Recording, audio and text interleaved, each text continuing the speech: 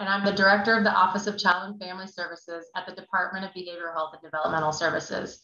I would like to welcome you all to the 2022 Children's Mental Health Awareness Day celebration. You are the caregivers, advocates, parents, and policymakers who work every day to care for and improve the lives of children. The National Substance Abuse and Mental Health Services Administration, or SAMHSA, sets aside the first Thursday of each May to emphasize that positive mental health is essential for children's healthy development from birth through adulthood. This day gives us an opportunity to renew our commitment to the prevention of mental health issues before they develop in children and intervening as early as possible with children who might be at risk for adverse childhood events, traumatic stress, or other developmental factors that can impact their mental health. We know that one out of every five children experiences a mental health issue in any given year, and one out of 10 of those children will have a severe mental health issue. But when treated, children and adolescents with mental health problems fare better at home, in school, and in their communities. And yet, we know that 75 to 80% of children and adolescents in need of services do not receive them due to a myriad of factors. Those include things like stigma, lack of access, difficulty navigating a complex and confusing service delivery system, as well as our severe and persistent workforce shortages we have right now that are causing delays in services being available. So we're working to address the access and consistency of services and respond to the effects of the pandemic by expanding access to quality behavioral health care services for children and adolescents across the state. We've recently provided over $7 million in one-time funding to support school-based mental health services to address the significant needs that kids are experiencing right now as they have come back to school this year and um, many of whom were not able to receive treatment during the pandemic or because of social isolation or family stressors are now having some challenges in terms of integrating back in school. The goal of this is to provide more integrated care in settings where kids already are so we can intervene earlier. We're also expanding youth peer support partners in treatment for adolescent and transition age youth who have problem substance use. And we're expanding adolescent substance use services through both workforce development to better equip our mental health workforce in screening and brief intervention of substance use, as well as funding for new treatment services specifically for this population. We're also partnering with a local agency on a recovery high school pilot for young people who are in recovery of substance use and to provide them with a school environment that is supportive so that they can stay in recovery and also graduate on time. We really are excited about this and hope this can be a model for other state um, for other areas across the state once implemented. And then over the past couple years, we've partnered with pediatricians and family practice doctors from across the state to enhance their training that they receive in behavioral health issues for children and also to provide them with access to child and adolescent psychiatrists through a consultation line, as well as licensed mental health professionals and care navigators that can assist the doctors and the families in locating the best community-based services for children and families. That way we're treating the whole child in a primary care setting, which is often where these issues first come to light.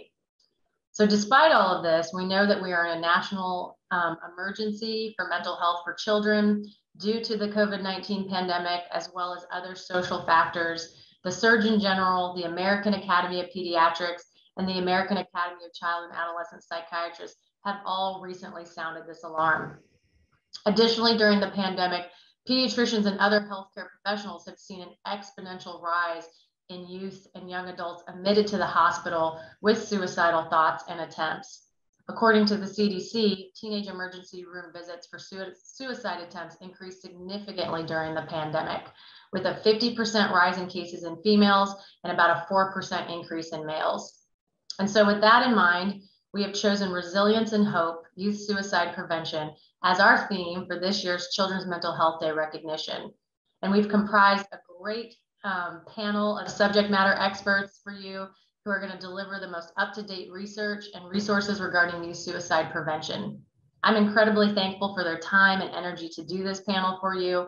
We hope that you find it helpful and enriching and a source of practical strategies and solutions. Please feel free to share this recorded discussion as you would like, and you can watch it at your convenience. And as always, we will continue to partner together to help our young people and families have the best opportunities for success and abundance in their lives. Thank you. Okay. Welcome, everybody. Thank you for being here today to discuss this extremely important and timely conversation. As a content warning, this will be a conversation about suicide and suicide prevention. So certainly feel free to pause the video. Uh, this, this topic can impact people in a variety of ways and certainly want you to take care of yourself. My name is Justin Wallace. I'm the Suicide Prevention Coordinator at the Virginia Department of Health, and I'll be the moderator for roughly the next 60 minutes. As a way to frame this conversation, I'm going to introduce each of our panelists, read their bio briefly, and then we'll spend the majority of time focusing in on some questions. Each question will be directed to a specific panelist, and then we'll open it up if other panelists want to chime in with some additional points. So with that, let's go ahead and jump into our speaker bios. Betsy Bell currently serves as the K through 12 Mental Health and Suicide Prevention Programs Coordinator for the Virginia Department of Criminal Justice Services and the Virginia Center for School and Campus Safety. Betsy received her undergraduate degree from the University of Virginia, a Master of Counseling and Development from George Mason University, and has background in school counseling and youth suicide prevention. Betsy, thank you for being here. Rebecca Textor currently serves as a behavioral health wellness consultant with the Department of Behavioral Health and Developmental Services. Her current role includes the oversight of the state opioid response grant and support for the suicide prevention program, Lock and Talk Virginia. She has earned a Master of Prevention Science degree from the University of Oklahoma and has worked as a substance abuse prevention professional within the Virginia Community Services Board system since 2010. Rebecca, thank you for joining us today. Lauren Yerkes is the injury and violence prevention epidemiologist at the Virginia Department of Health, providing subject matter expertise, data analysis, technical assistance, and consulting on injury, violence, and substance use data to inform state policy and program planning. Lauren has a Bachelor of Science in Human Development from Virginia Tech and a Master of Public Health in Epidemiology from the Virginia Commonwealth University School of Medicine and is certified in public health by the National Board of Public Health Examiners. Lauren, thank you for being here today as well. And finally, Victoria Kirby York is the Deputy Executive Director of the National Black Justice Coalition. In this capacity, she is responsible for managing the operational policies and efficiencies of the organization, strengthening the organization's grass, grassroots constituency engagement efforts, and leading the advocacy and action agenda.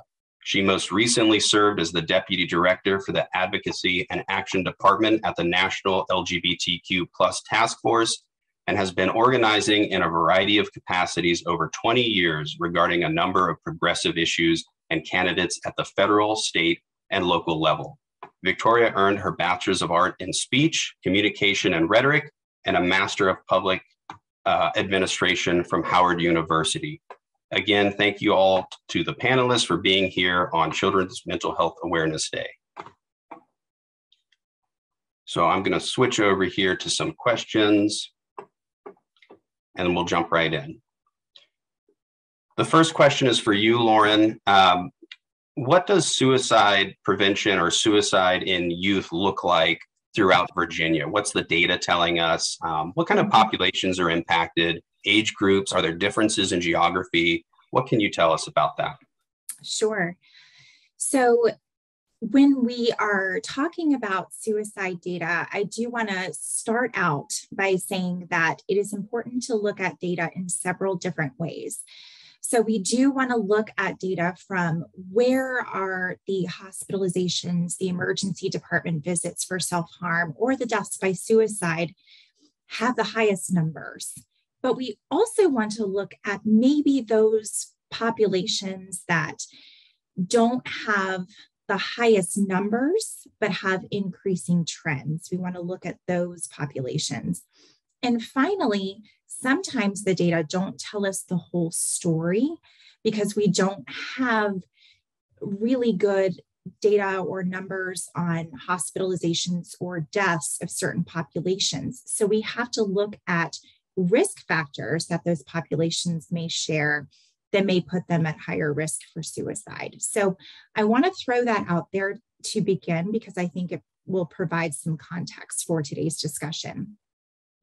We know that suicide is the second leading cause of death among youth 10 to 24 years of age. And we're going to focus on that particular age group for today's data discussion because it ranges from the early middle school time period to right after the undergraduate um, college or university time period. And this has been consistent for the past year, five years, from 2016 to 2020 in Virginia, is that it's the second leading cause of death. But what we also know is that when we look at data from emergency department visits and inpatient non fatal hospitalizations for self harm, we also see some increasing trends. So, from 2016 through 2021, emergency department visits due to suicidal ideation, self harm, or suicide attempts in Virginia almost doubled among the 10 to 24 year old age group. And then we also have seen a little over 4,400 non fatal self harm hospitalizations in from 2016 to 2020 and there was an increase of 4% from 2016 to 2020 of non fatal self harm hospitalizations. This was really driven by the 10 to 14 year old age group. So we're really seeing an increase largely in that middle school to early high school age group here in Virginia in terms of hospitalizations due to self harm this also has a lot of implications, not only for the health of youth, but also um, in terms of how much self harm hospitalizations cost. So in 2020 alone in Virginia, self harm hospitalizations that were non fatal for youth 10 to 24 cost $24 million. Um, and a length of stay of 29 or 2,914 days in total of youth being in the hospitalized for self harm related events. So, and we're talking about deaths by suicide. Deaths by suicide have also increased among the 10 to 24 year old population from 2016 to 2020, about 17%. So there were 197 deaths in 2020 among this age group, but this was not statistically significant. So we saw the same number of deaths by suicide in this age group in 2018 in Virginia as well.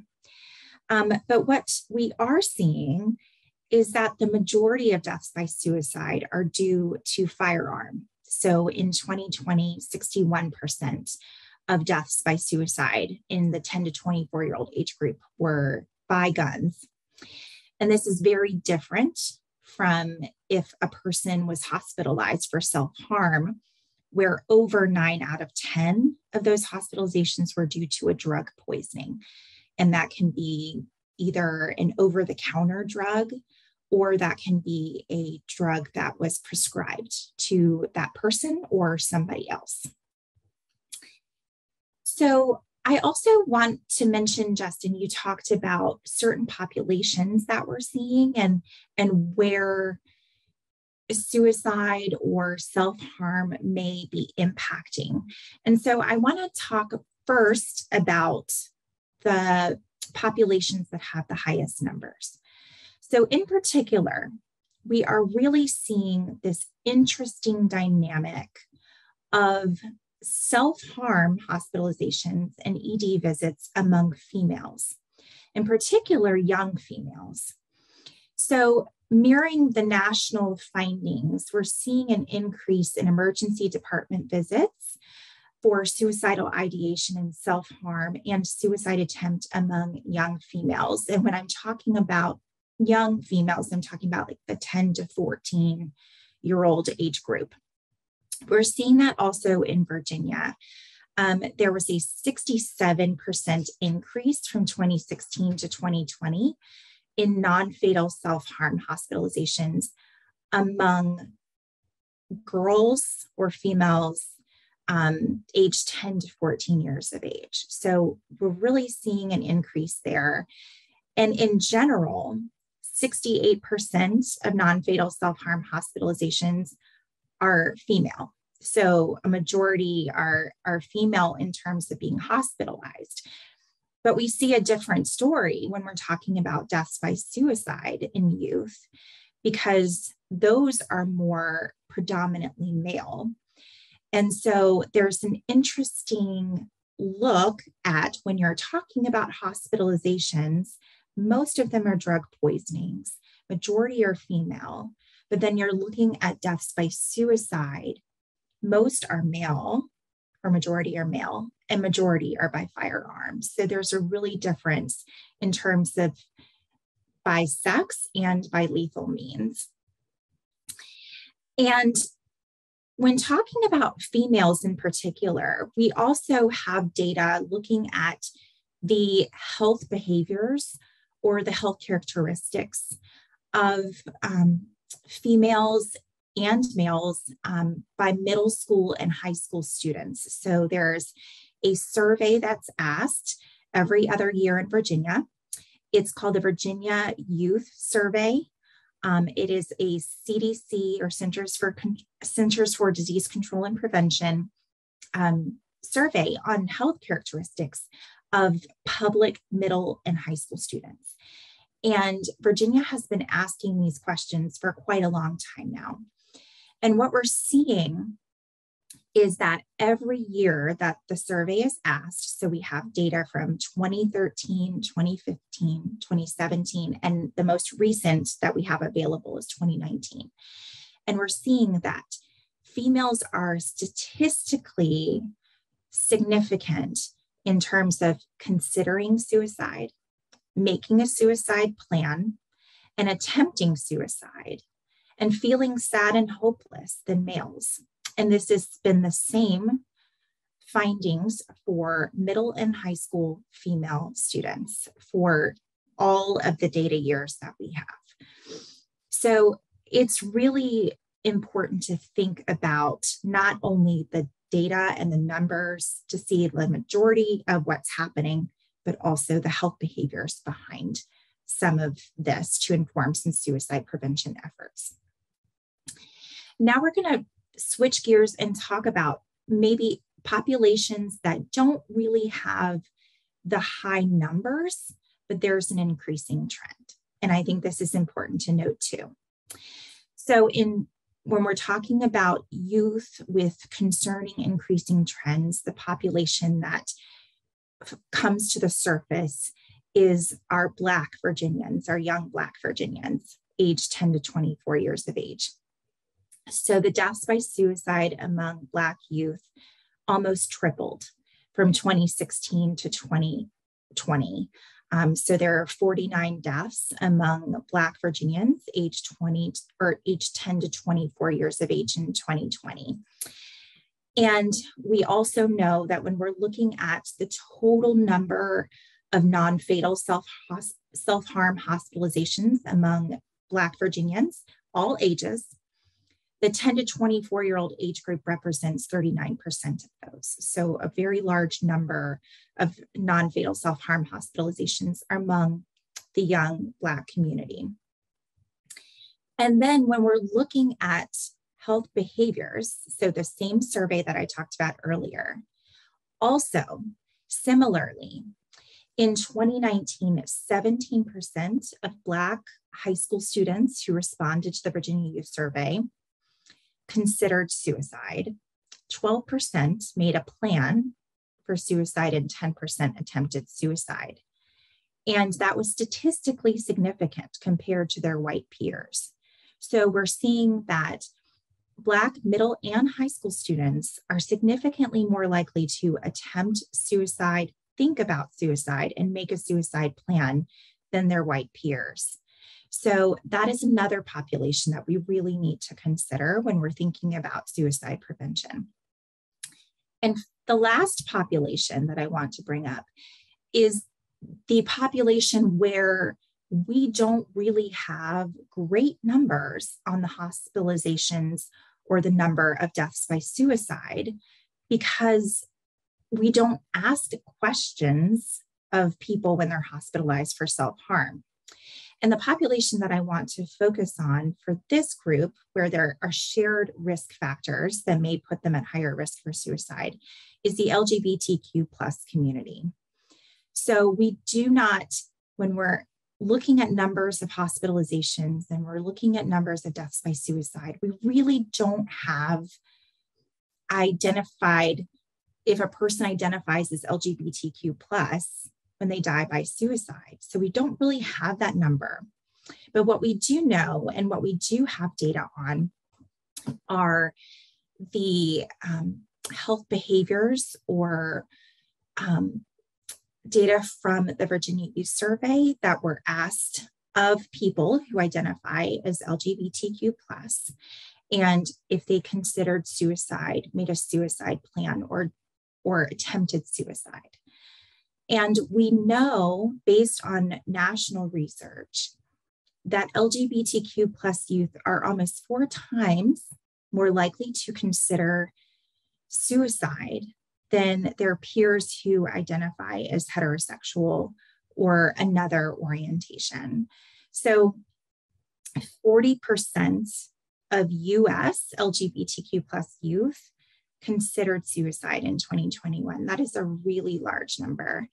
And we're also seeing that here in Virginia. So, using that same Virginia Youth Survey that we talked about earlier, that in 2019, the youth in high school in Virginia who identified as lesbian, gay, or bisexual, 42% of youth said that they considered suicide in the past year, and 22% attempted suicide. And that is compared to their peers who identified as heterosexual, which was 12% that considered suicide and 5% that attempted. So statistically significant there as well.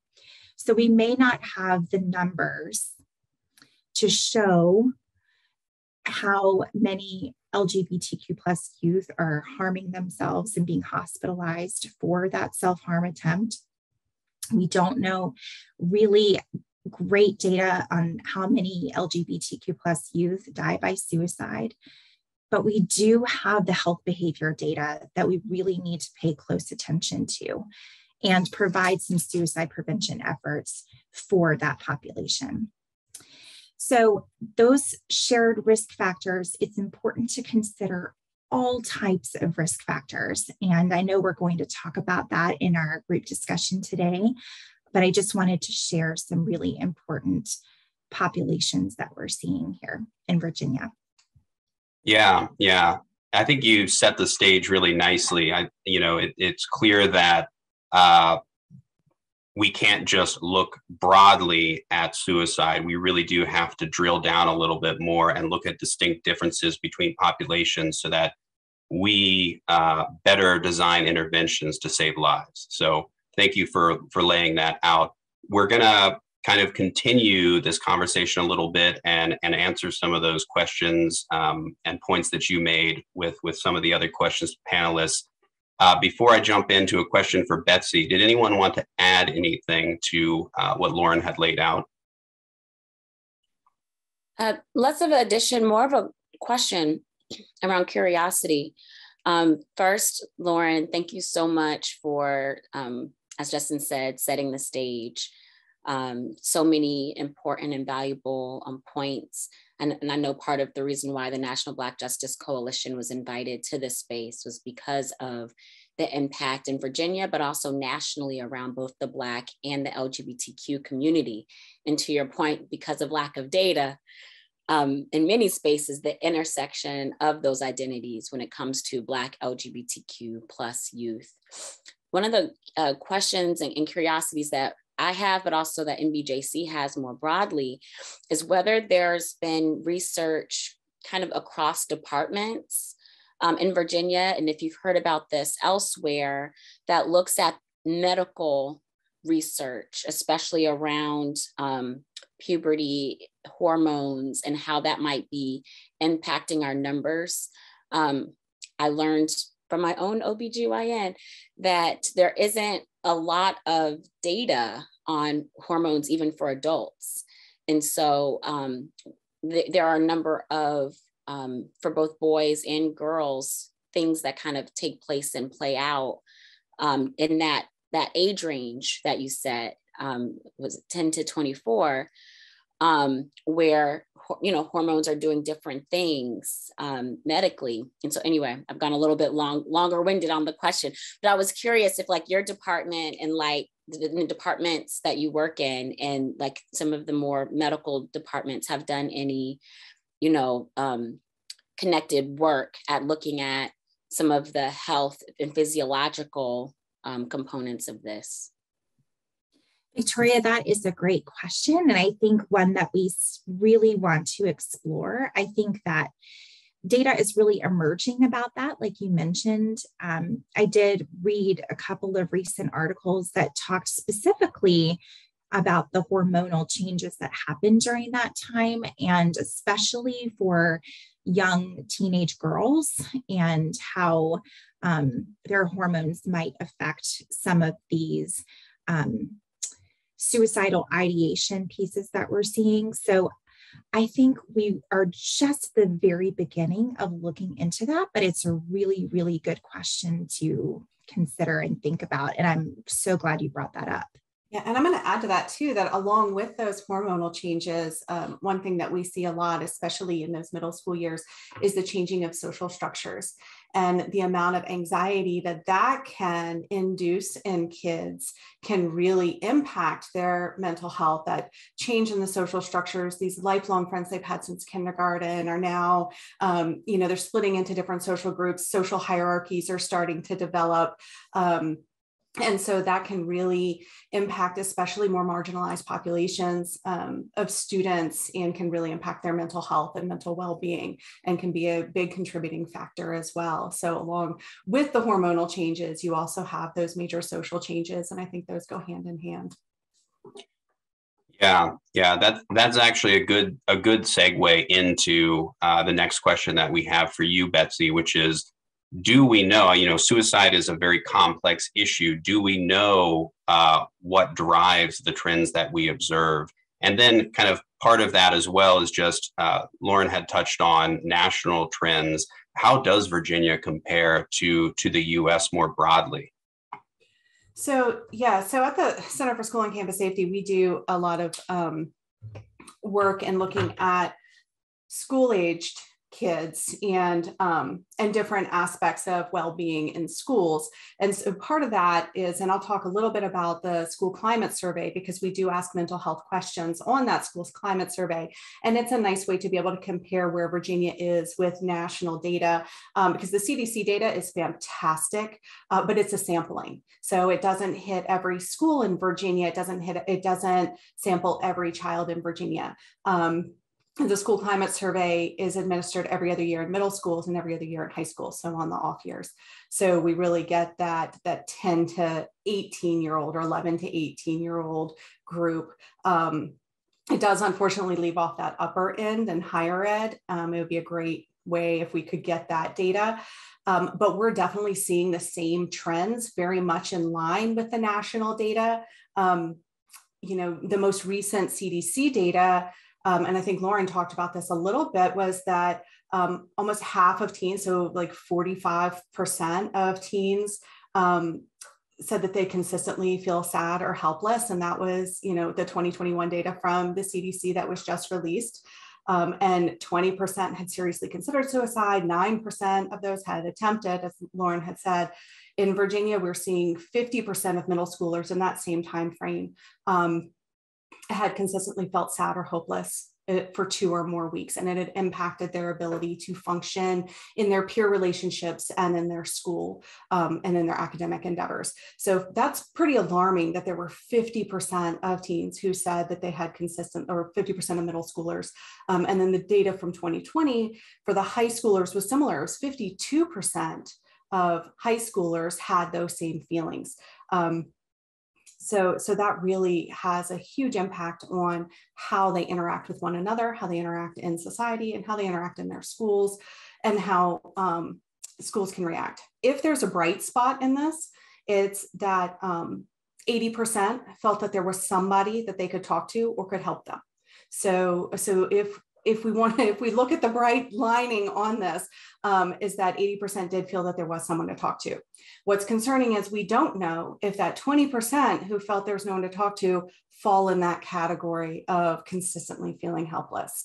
And, um, and I think a lot of times, and this is my um, just anecdotal knowledge from working with um, this age group and these populations is that it's often the marginalized populations who feel there isn't someone they can talk to because they don't see representation of themselves in those helpers in the schools and in the communities. Um, and it's hard to talk to um, an adult when you don't feel like they're going to have a connection because you feel like there's nothing in common and they can't understand where you're coming from. Um, so, so that's that is also a concern, and and being able to find that representation for um, for our youth to be able to have someone that they can turn to. Um, another bright spot is that um, over 70% said that if they heard a peer talking about harming themselves, whether it was suicidal or non-suicidal harm that they would talk to an adult about it on their friend's behalf or on their peers behalf. So so that's also a bit of a bright lining as well um, and that there are those who are taking that bystander role and and and speaking up. Um, but we are really seeing in Virginia that same trend from 2016 through 2021, which is the data that we have, um, we're seeing a huge upward trend in both suicidal ideation um, and suicidal attempt, and also in that non suicidal self harm. Um, as Lauren spoke about, that is um, more prevalent in our young female populations and in our minority populations, especially our African American students. Um, so we don't have data on the uh, from the Center for School and Campus Safety on the LGBTQ plus populations because that's not a question that we're going to ask on the school climate survey. Um, but uh, but that's important data to also keep in mind and somewhere um, to really watch out for those populations as well. So I think, you know, and there's been so much almost collective trauma in our society over the last couple of years, obviously. We've all been living through a pandemic, we've all been living through isolation. We know that isolation is one of the risk factors um, for depression and for suicide and for suicidal ideation. And when we have um, young people who are already at risk and then we put them in these isolated situations, then we're going to have even more risk. And, um, and I think that that's somewhere we're really seeing that upward trend. Um, the most recent school climate survey just closed last week. So we'll have data from that in a couple of weeks available. I wish I had it for you today um, so that we could see where that 2022 um, trend is going, um, especially now that most of our kids are sort of out of that isolation. However, the transition back into the schools and into society, especially for some, has been almost as traumatic as that transition out. So, um, so I think you know we're seeing some of that as well. Uh, speaking with some folks over at UVA in the psychology department um, at the hospital, they were saying they're seeing more and more young people coming in for treatment, which is a positive, but it's also a huge uptick in the number of young people who are seeking treatment. Um, for anxiety and depression than they have seen in a long time. So, mm-hmm. you know, while you were talking, it really makes me think that while there's a lot of good mental health, mental wellness, suicide prevention work going on in schools, there's still a lot of need, you know, to continue to help um, build the capacity of our workers to support our students as well.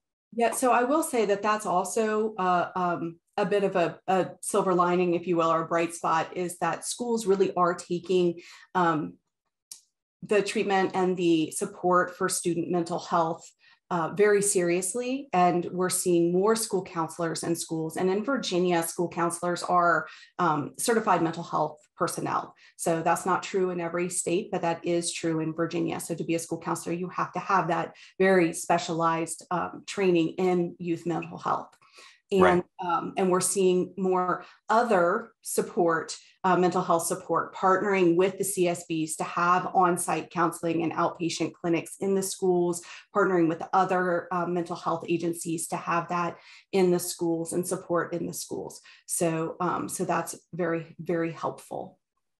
Right. Yeah we're fortunate to have that. Mm-hmm. um, well we're we're well on our way halfway through already. So i'm gonna move right along here and switch gears a little bit. Um, this next question is for Rebecca, um, and it revolves around myths or misconceptions that are commonly held um, in communities. Um, you know, there's often this idea that talking about suicide will make someone want to um, consider suicide as an option. So, Rebecca, for the question for you is just what myths exist in our communities? What are some facts that we can throw out to help support community members as they're helping to um, address this topic? Thanks, Justin. Um, yeah, I, I, first I wanted to, to, to say I appreciate um, the data that Lauren brought to us and uh, what Betsy was just discussing because I think what I'm doing is definitely shifting gears here and talking about just to the people who may be um, coming to this panel discussion with questions about, well, I, I hear what's happening, I hear the trends, but what what can I do about it? You know, I've heard that asking about suicide directly um, could give the the idea to a young person who may not have thought about it before. But there, so my my part in this really, I, I hope, is to bring um, those of you who are here today to, to a hopeful place, because I'd really like for all of you to know that when you ask a young person if they are thinking about suicide, um, it actually opens a door and it gives people a sense of relief because what we have found is that um, by giving them an opportunity to open up and share what's troubling them or what emotional pain they've been dealing with, it gives them an opportunity to alleviate it, uh, to diffuse this pain a little bit.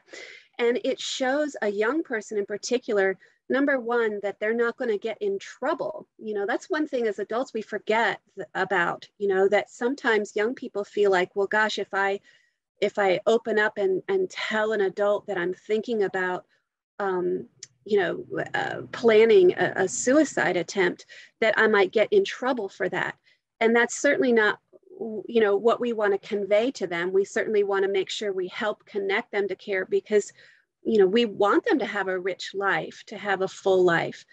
So by being able to ask the really hard question um, you know are you thinking of dying by suicide? Are you thinking of killing yourself? You're actually saying hey you know what I'm ready for a really serious, open conversation about about this topic, and that can really help them take a breath. And number one, when someone says that back to them, you know, wow, first of all, they heard me. They've seen the amount of pain I'm in. They know that um, that what I'm feeling is super serious to me. That this is a big deal, and I need help. Um, that that's huge. So i would say you know the first thing is being able to ask directly and clearly too because when you think about what lauren was saying about self-harm um, earlier today too we have to be very careful how we ask the question. Because if we ask a young person are you thinking about harming yourself? it can be different in their minds than asking the question, Are you thinking about killing yourself? Because in some regards, self harm for younger people in particular can be about alleviating pain in a temporary situation, but not necessarily a suicide attempt. Um, and in, in another way you can look at this is if you say to a young person, Are you thinking about harming yourself?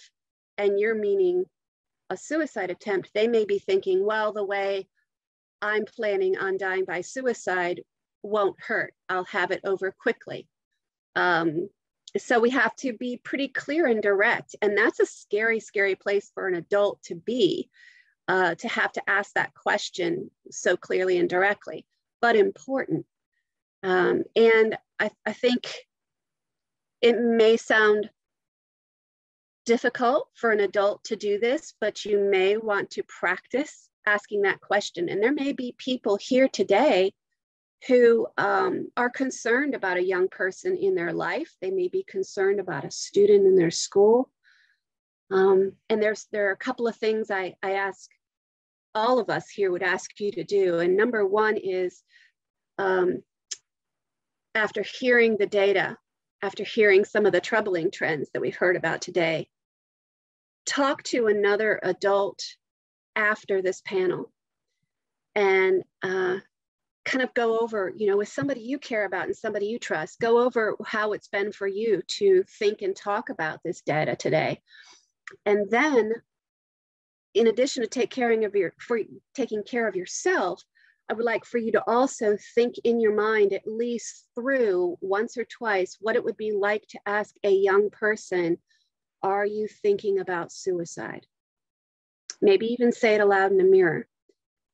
Sounds maybe odd to you, but practicing it and being confident is really going to convey that um, to a young person when you have to use that, when you have to actually ask it. Um, so, yes, being clear and direct is important. Uh, one of the big pieces of these myths that we're hampered by uh, over time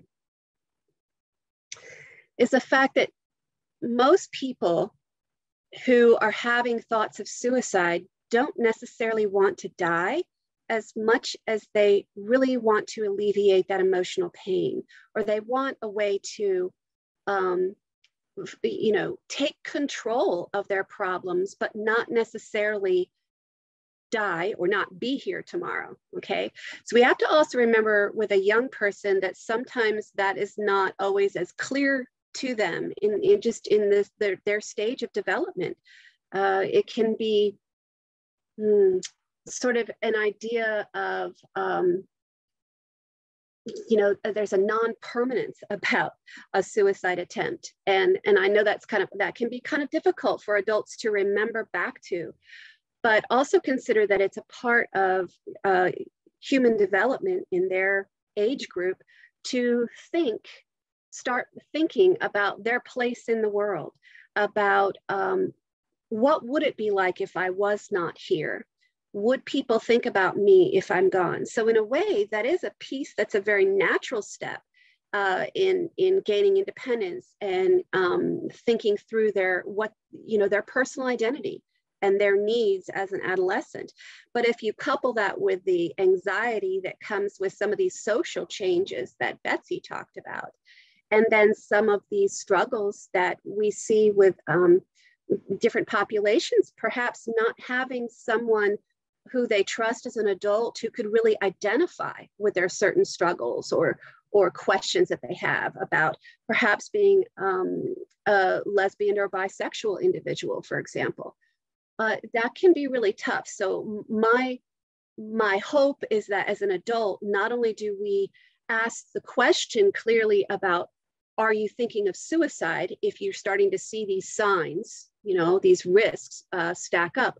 But then also, what is it in your life that's going on? Tell me more about what you're thinking and feeling. What causes you struggles throughout your school day?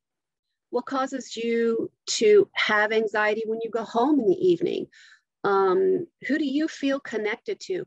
Help them discover who their personal resources are so that they can find a mentor and so that they can find that, that trusted adult. And because it doesn't have to necessarily be that formal care that we're talking about, because the school counselor is there for a certain part of the day but they need connections to their informal care as well their coaches their their teachers who see them every day and have that face time with them in the classroom now that we're back in person uh, you know and just because you get help once after let's say a suicide attempt know too that that young person is stepping back into a classroom.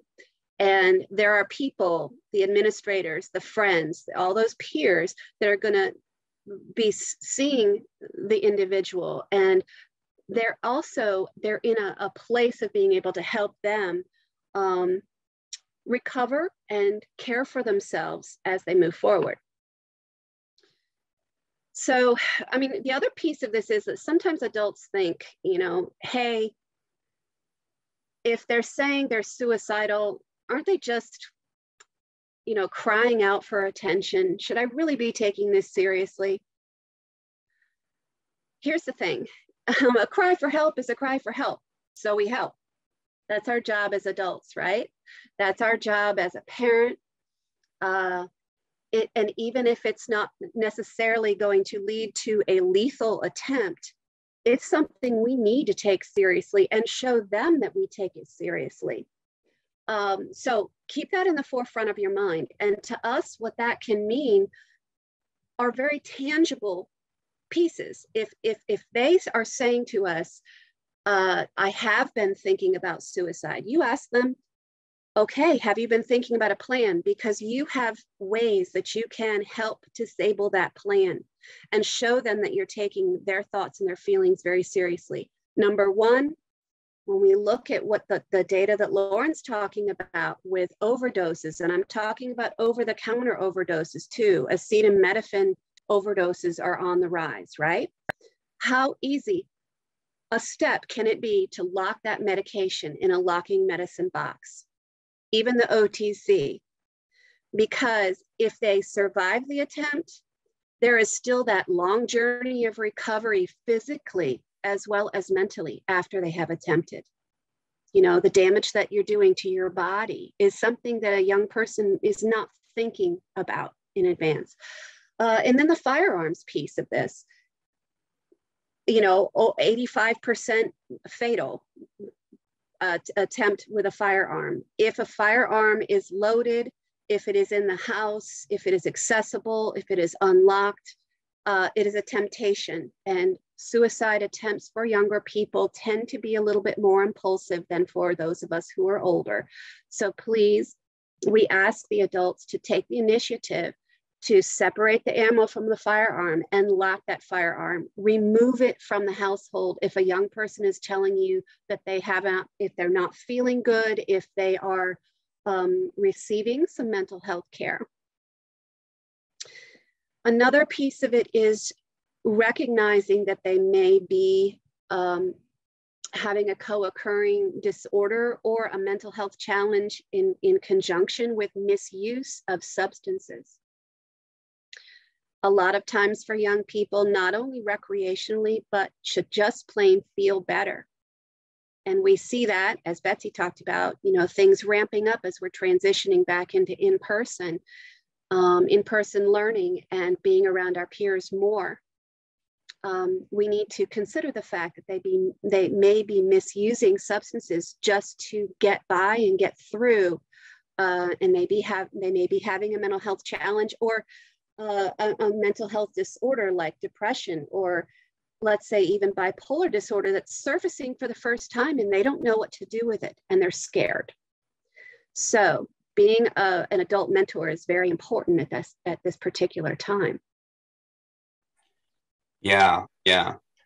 Thank you for that, Rebecca. Um, I think you did a, a masterful job of kind of landing that data airplane and grounding that in the steps that we can take as individuals in valuing our, our community members, um, our children, you know, in supporting them, and certainly asking those questions. And we'll touch on a little bit about for those folks that are watching who are still a little on the edge about how we go about asking those questions, what kind of trainings uh, are available and out there that that you can take to kind of uh, grow your skills and your comfort in asking those questions. And I also like your phrasing, bringing people to a hopeful place. I really, I really love that. it kind of reminds me of the uh, the creating communities that contribute towards a life worth living that's uh, often stated in suicide prevention work. Um, did anyone else want to add anything before we wrap up our our last question for individuals, and uh, we'll we'll open it to the full panel. I just wanted to um, to just go back to something that uh, Rebecca had talked about a little bit, and that's the access to means. Um, and when we are looking at the data, we do see that um, fatal suicide attempts um, tend to be more prevalent with those who use a firearm. And that is the preferred means of our young men and also our middle school population. Um, so, and that's true for both boys and girls in the middle school population. And then as teens get older, for young men. So while our um, girls are, tend to be hospitalized more for that self-harm, um, whether it's suicidal or non-suicidal self-harm. Our boys are the ones who are actually dying by suicide more often because they do choose that more fatal means. And our younger kids, um, and I don't, and I'm not 100% sure what the reason is. It might be influence of media because that's what you see as far as suicide attempt on media, or if it's um, just an access to means. So, so really taking those steps to lock away firearms, to separate ammunition from the firearms themselves and removing them from the home if you do have a young person in your home who is showing um, depressive or suicidal behaviors is so important. So i really really thank you rebecca for for touching on that because um, because i think that is such an important part of prevention. Yeah. Go ahead victoria yeah, I have a follow up on that same piece around means that it's the first time this thought occurred to me actually in listening to, to what you shared, Rebecca. Um, do you have any sense or has there been any qualitative data or experiences um, you've had with, with young people um, that lead that um, connect this means piece around um, comfort with it. Like the, the thing that came up for me is that, you know, not to say that little girls don't play, you know, what we call shoot 'em up games, you know, video games that, you know, are focused on like Call of Duty, those kinds of games. Um, you know, so some of our boys who play those games more, even if they haven't had as much practice with the real gun, think that they understand how to to use, you know, a gun if put in their hands. Um, and for girls, once you start having your period, you begin using more pain medications, you know, once a month, you know, to deal with cramps. And so maybe less familiar with how to leverage a gun, but for sure has gotten used to taking pills regularly.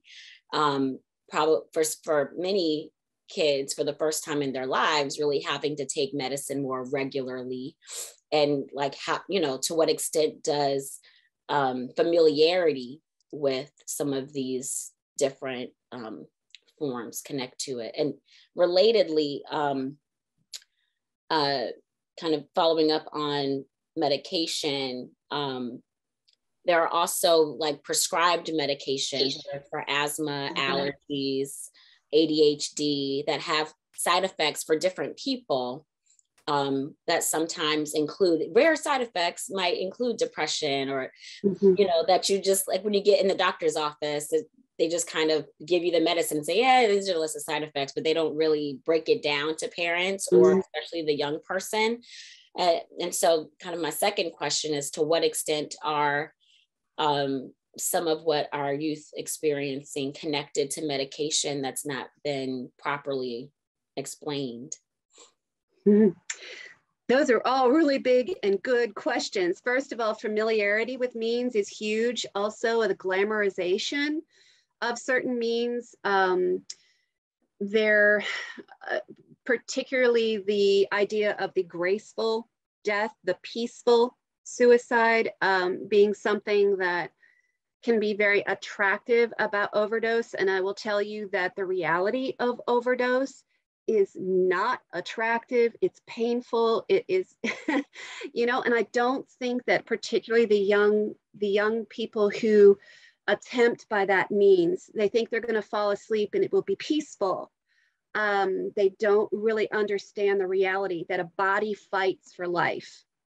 And there is, you know, there, it's, it's, it's very different than what uh, the picture we've been given of the Marilyn Monroe kind of quote unquote suicide. Okay, so, um, but I'm saying that's going back to like my generation. You know, I'm sure the the, the younger generation now they have their their own um, ideas of, of a glamorized uh, death. Now, I will say too that um, certainly younger people are also influenced by, uh, you know, the the deaths of people who are are high profile. Uh, when we we we did see uh, more suffocation, you know, ha- by hanging um, after we had seen national attention paid uh, to um, hanging deaths or suffocation deaths like Kate Spade. And then I think that same summer we had Chris Cornell, who was a, you know, a musician that that that young people loved. Or um, and we had several, you know, high profile suicides. So yes, that does kind of um, cause some concern. And uh, the more familiar you are with a means, the more apt you are to use it. So I would agree with you on that. Um, and then the second piece of that, the Virginia Prescription Monitoring Program has helped to some degree with keeping the mm, more addictive pain medications to a minimum, but we have a long way to go with that. For example, there still is uh, addiction and overdose concern for sure, uh, particularly with the opioids. Mm, but also, too, I think um, when when you look at young young people and misuse of, of uh, prescription drugs, for example, it, it's often receiving drugs from friends that they shouldn't be taking, like Adderall when you don't need Adderall. you know, I think that's another big piece of this. And it, you know, that can be a vicious cycle. And if you're already experiencing other mental health challenges on top of that, um, can put you in a bad place really quickly. And, and truly anyone could be vulnerable to suicide thoughts. Um, it's, it's not, you know, you have to have this particular exact mix of risk factors. These things can build for an individual. Right. Yeah. Victoria. So thank you for bringing those up. Yeah. Yeah, exactly. Excellent questions. Um, we want to stick with you for a second here um, and kind of drawing this conversation back to some of the points that Lauren and Betsy had made about, you know, kind of drilling down on certain populations that that we're we're seeing uh, differences in trends around. So this question is for you: How does suicide impact LGBTQ plus youth and youth of color? What factors are at play that contribute to these groups experiencing suicidal thoughts and attempts? Yeah, um, that's a great question. Um, in the National Black Justice Coalition, we've co authored a couple of reports that really dig into the question. I'm going to share some of the findings from that and also some of my own takeaways uh, personally. Um, the first report is one that we did called Ring the Alarm with the Congressional Black Caucus Foundation. Um, and this was, we created this report um, about four years ago because we saw that there was a crisis around mental health and youth suicide within the Black community, um, especially, you know, for our girls, it had it has been high, unfortunately, for a long time, um, and just not really addressed. And, and for our boys, it they, it went from here to like here, you know, and what has felt like overnight, um, and there hadn't been a lot of attention paid to it. Um, certainly current events in, in terms of constantly watching you know, um, Black boys, especially young kids like uh, Trayvon Martin, um, the young, you know, 12 year old boy who was just playing with toy gun in the park, uh, Tamir Rice, seeing people your own age killed by uh, police officers and also gangs, right, in your own community. Um, begins to um, play a toll, you know, have a toll on you apart from the political discourse, just seeing the images um, itself um, has has not been um, helpful. Um, and and when it comes to the LGBTQ community, and it's in also some regards the Black community too, um, uh, the feeling of being different, um, not being included, uh, being purposefully excluded, plays a huge role in self harm uh, and suicidal ideation. Um, and one of the things that um, we've been able to do in partnerships for a, a subsequent report that we did with GLSEN um, was really drilling in on the intersection of Black and LGBTQ identities. Uh, whereas the Ring the Alarm report included the intersection, it was more broader, focused more broadly on Black kids. Um, this report really drilled uh, drills down on the intersection. And, you know, um, the other ladies highlighted the lack of data on sexual orientation, um, gender identity, and expression. Um, the other place where there's a lack of really meaningful data is being able to get at the intersections and not just at race. Race is important, you know, especially important for the work that we do, but we also are curious looking at those intersections when it comes to religion, relig- religion and religious beliefs and how that shapes and supports some people and is harmful for others. Um, looking at class breakdowns and like whether or not you go to bed hungry every night, whether or not you know you feel um, uh, guilty for existing because your parent has to struggle so much to provide for you, right? Um, uh, feeling smart and and not and yet not supported seeing college and you know not being seen as college worthy by your teachers right or your your friends um, because of the way you present because your because your tomboy moment has lasted longer than you know society says it's supposed to last or you're a boy um, you know who likes to wear fingernail polish and you hear your uh, career counselor say, well, you can't do that in college, right? or you're a trans student trying to navigate just using the bathroom and being turned into a political epicenter where just a couple years ago nobody cared that you used you know the nurse's bathroom and, and now your ability to just pee has become this national debate right um, all of these conversations don't happen without our kids watching and listening and taking cues from the people around them about whether they're worthy. And so, you know, same thing happens around race. When you hear, you know, I grew up in Florida, and so I feel for my my four nephews, four black boys, um, you know, all under the age of, of 14 who are now you know hearing that 240 math books are taking out taken out of use because something black was mentioned in there you know? That that makes you feel otherized even if you don't understand the political debate that's happening around it right? Even if that's outside of your your wheelhouse. Um, i know for me um, you know, I started having feelings of suicidal ideation as young as four years old. I didn't have the words for it, didn't know how to talk to my mom about it. So I didn't. I didn't talk to my mom honestly about what I had been experiencing till I was like 30 years old. And I had been doing some of this work professionally for a long time, right?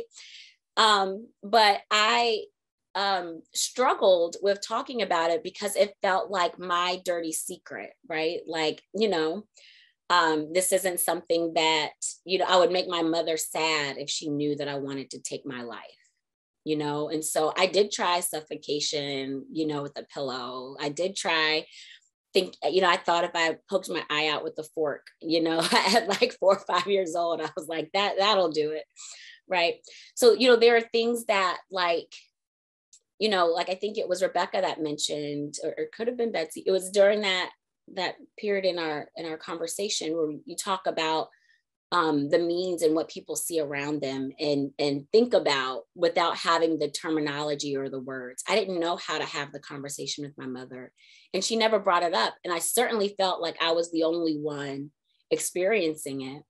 And in some ways having a report that reflected both my racial identity and my identity as a same gender attracted person because i also started having those feelings at four um, and noticing oh that's not i'm not supposed to like this person. I'm supposed to be liking this person who is opposite gender and keeps you know trying to play with my hair. Um, who I just find irritating, right? You know, that's the kind of thought level that you have when you're preschool, kindergarten, right? Like you don't have some of these higher thoughts. Um, if I had the data that, wow, this large percentage of other Black kids felt this way, I would have been more comfortable to talk to my friends about it, to say, hey, you know, I heard that, uh, you know, I'm not alone in this. Like, do y'all ever feel this way?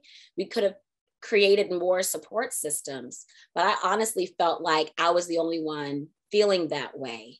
And so I just took it to God and, you know, you know, prayed. And every time I would start to feel and that I had my faith. So for me, religion was my saving grace. It was always like, oh, God's not gonna, I didn't care honestly as a young person where my parents really were on it as much as I cared about what God would think about what I did. And so for me, that was my saving grace. I know for other LGBTQ people, um, I, I, I didn't have negative messages about that from the pulpit. So I like all my faith experiences were positive, but I do know for others that's not the case, and so they can't talk to their parents if part of their depression or suicidal ideation is because they identify as LGBTQ, because they've seen their parents say amen and hallelujah when the pastor started talking about how being LGBT wasn't okay. And so it sends a message that, nope, can't talk to my parents, can't talk to my pastor. And, you know, I know people who didn't, who did not feel comfortable turning to God in that way. Um, and so um, I realized that I had a a privilege in some ways um, that my experience was different. Um, so, you know, having the data, being able to share the data with parents and also in kid friendly ways with kids, I do think, you know, helps to break some of those um, stereotypes, mysteries, myths, um, and, and helps to create an opening to be able to say, this is how I'm feeling. I don't want to feel this way. What can I do about it? Because it's not always because of something sad. There, there can be children who have everything going great for them. Their parents are great, their school is great, they're involved, they're highly functioning kids. And yet inside they're fighting this, this battle that they don't feel like they can win. And sometimes those students are even harder to reach because they're not they they're not crying at least not publicly. They're not they don't look like they're sad. Sometimes you know these are the people that when they pass folks will say oh they always seemed so happy. Go lucky children right? So it's important that we have these conversations broadly and not assume who needs to hear it and who doesn't need to hear it. That even though black lgbtq kids are at at a high risk, it doesn't mean that folks who are at lower or mid-level risk don't also need to, to hear these conversations too. Um, the other piece around um, intersectional um, data and conversations is around cultural competency and understanding, um, especially within Black culture or other ethnic cultures.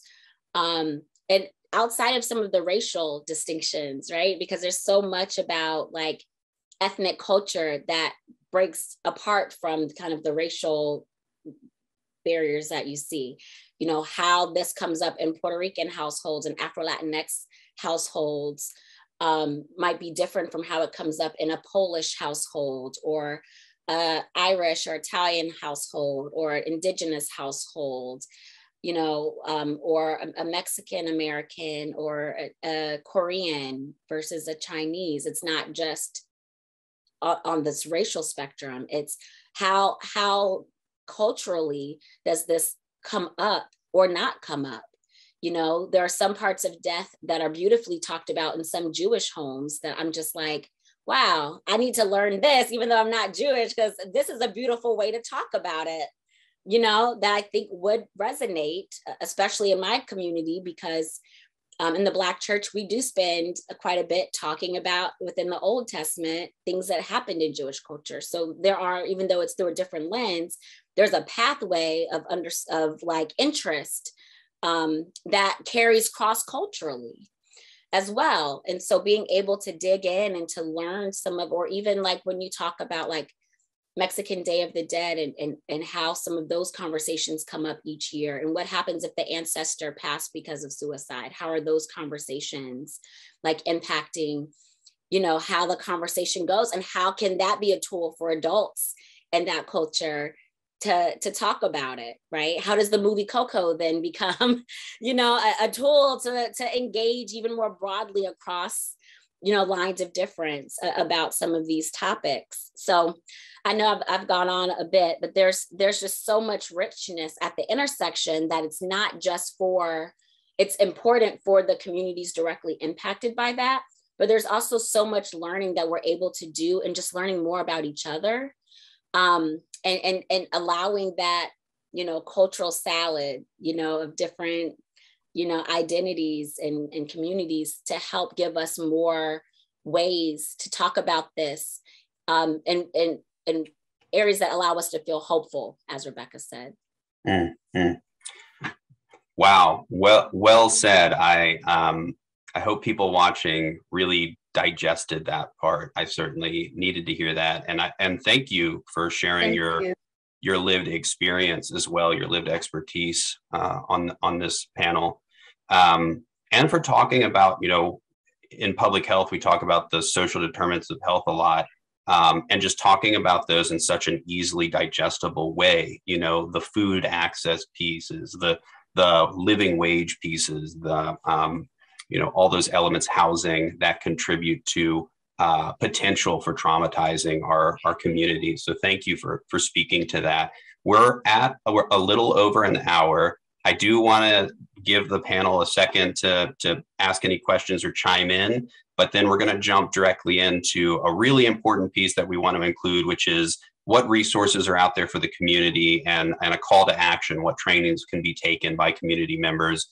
Um, but before we do that, did anyone want to want to comment on what Victoria said, or do we want to move right into um, providing some resources to the community?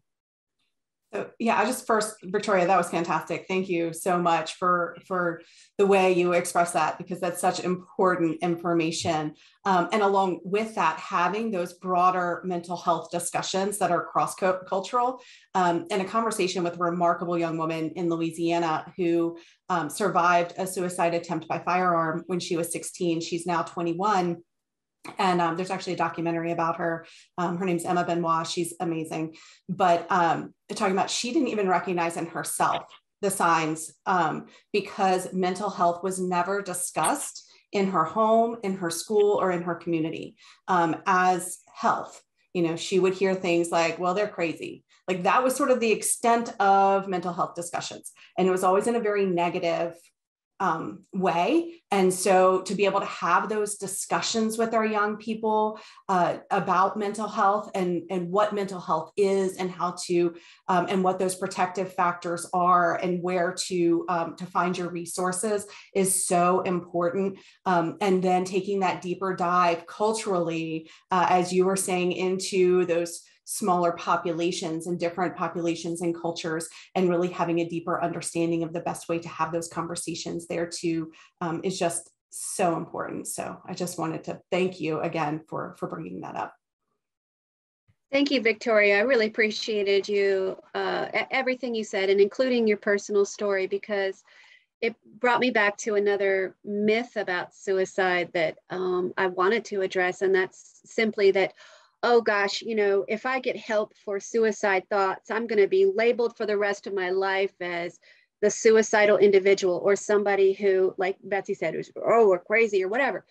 It's not true. We, we go on to um, find that treatment works if we stick with it. And, you know, you can, you don't have to stick with one kind of treatment throughout your life, but you may find uh, someone who who really is helpful to you or you might find multiple things that help you recover um, you can manage your mental wellness you can learn and grow through things and um, it, it's just it's and not everyone needs to be hospitalized who has had suicide thoughts either.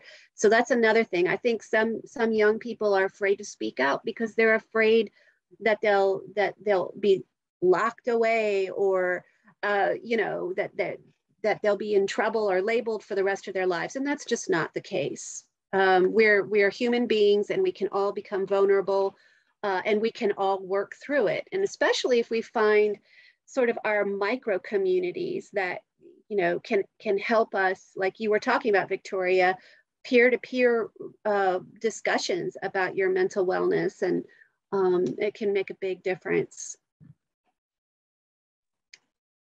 Right. Yep exactly. Thank you all to the panelists. Um, let's wrap this up with a couple resources or, or trainings call to actions um, we can just go around if there are specific pieces that individuals want to highlight, um, but feel free to jump in and and um, really really put some some resources and trainings out there for the folks that might be watching this uh, this this panel.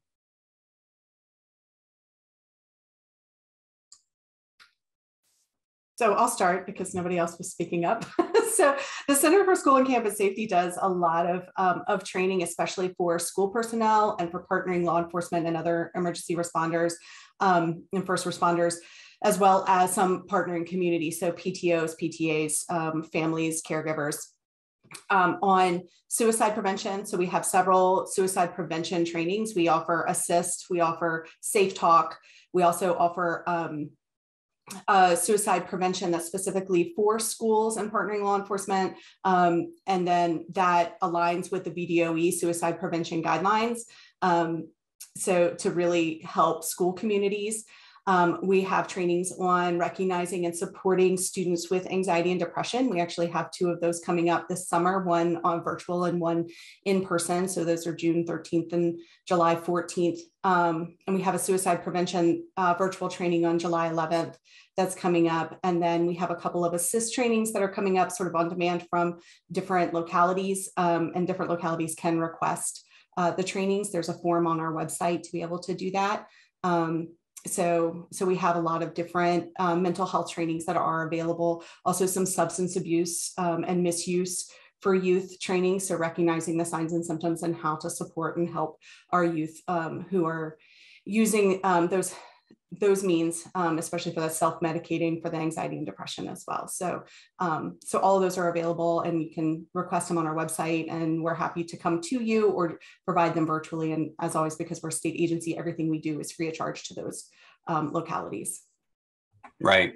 And for those watching, they may hear the term gatekeeper training um, and just want to let folks know that that's just a term used to describe uh, things like the uh, assist training that Betsy was talking about that really arms uh, community members with the, the uh, ability to engage in these conversations around suicide, you know, identifying risk factors, getting folks to resources, that kind of thing. So gatekeeper is kind of the term you may hear from time to time.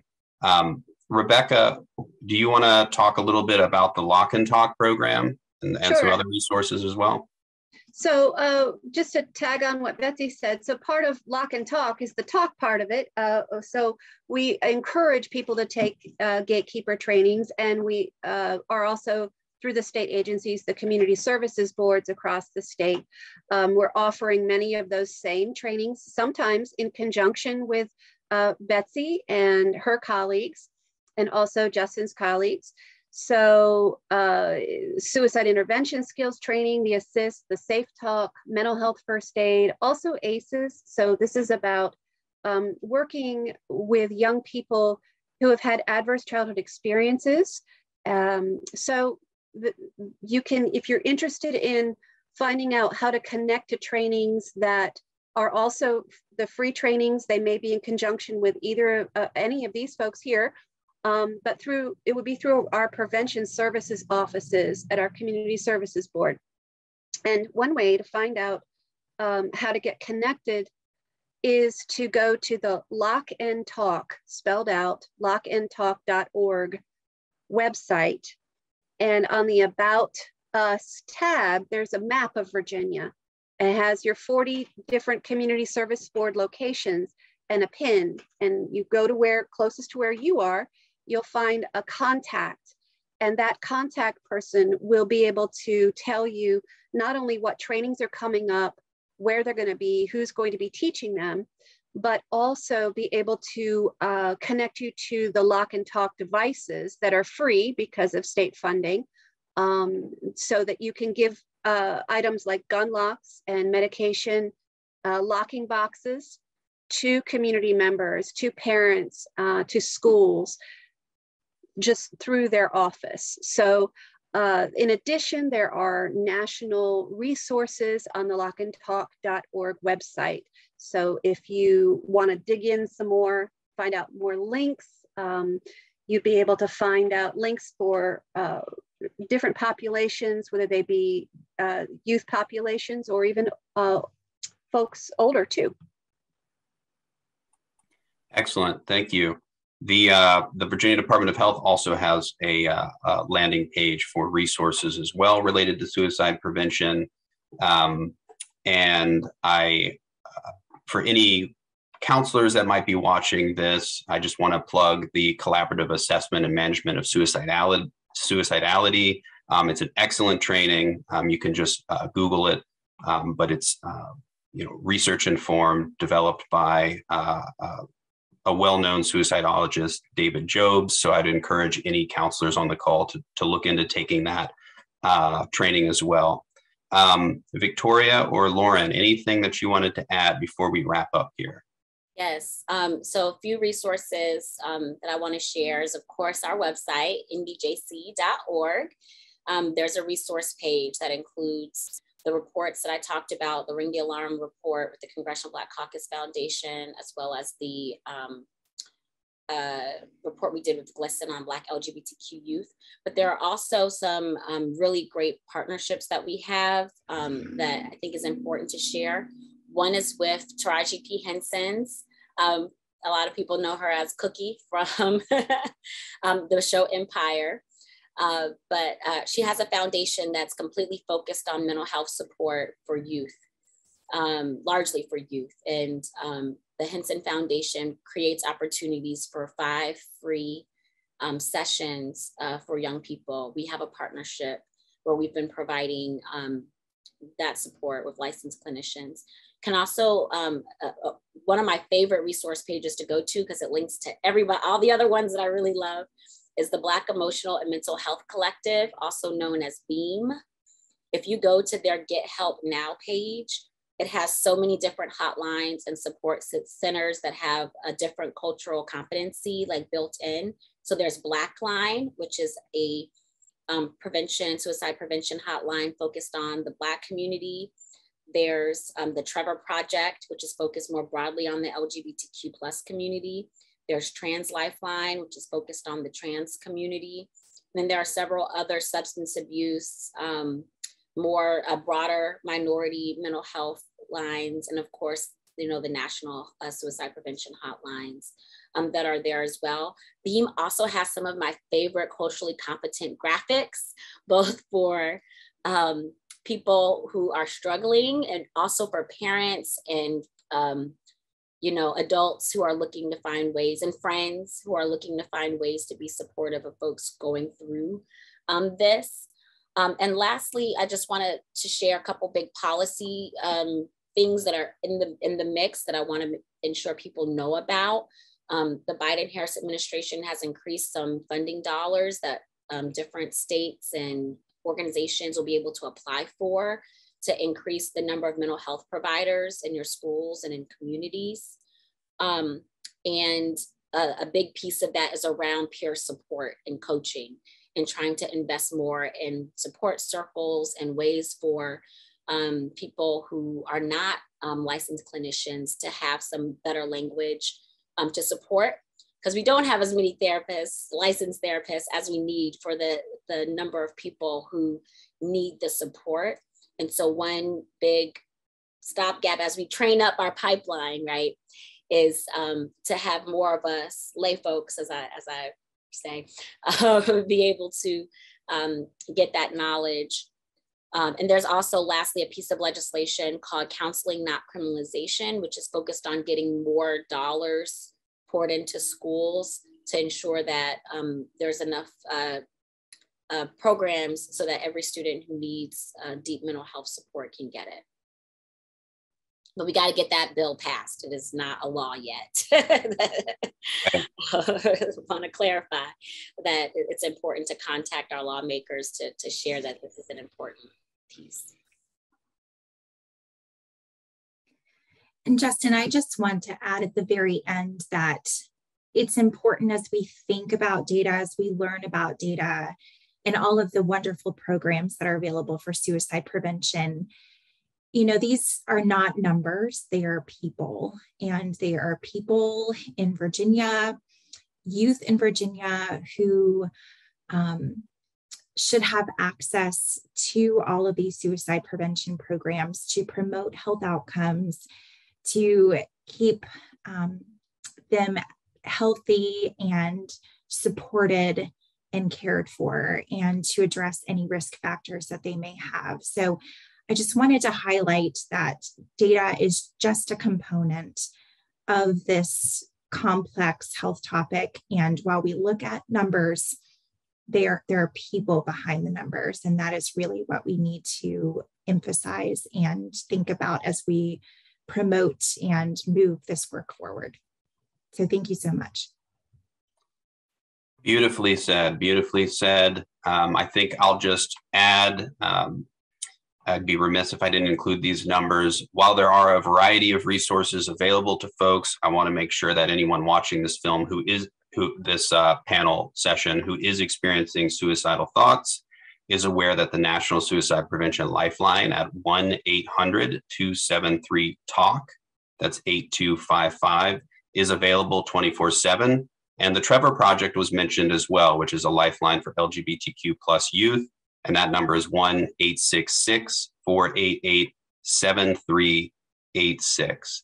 I appreciate everyone uh, on this panel for being here and having this conversation with us today. It was fantastic. Um, take care, everyone. Take care of yourselves. Take care of each other. And uh, we appreciate your time. Thanks for watching. Thank you. Thank you. Bye, everyone.